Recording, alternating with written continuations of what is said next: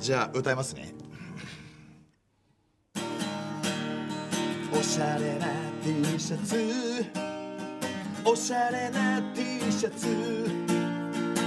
なんておしゃれなデザインなんだ。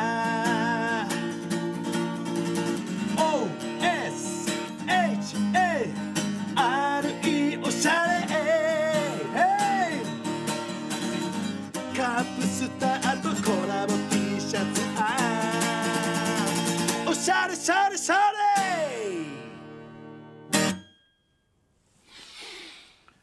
どどうって言われても。え曲の感想ですか？うそうそうそうそう。あのもう率直にさ、うん。梅沢さんはどう思いましたか？うーん。えー、なんて言うんだろううーん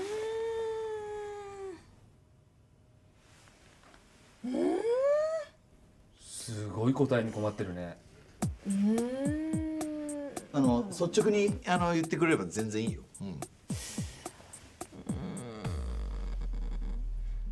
言えないね。言えないね。うん性格がいいのかな。うん。いやあのここまで露骨に悩まれたら性格いいとは言えないよね。うん、あのマジで思ったことあったら本当率直にあの言ってほしいんだよね。うん。あじゃあ率直に言ったらダサいと思いましたダサい。確かに率直に言ったらダサいよね。あのいやちょっとちょっとあれかな。率直に言い過ぎかな。いや角田さんが率直に言えって言ったからうんあの率直にもねルールがあると思うんだよな。うんだったらそれ率直じゃないじゃないですか。あの何でもありの総合格闘技にもルールはあるからね。いや総合格闘技で例えられてる。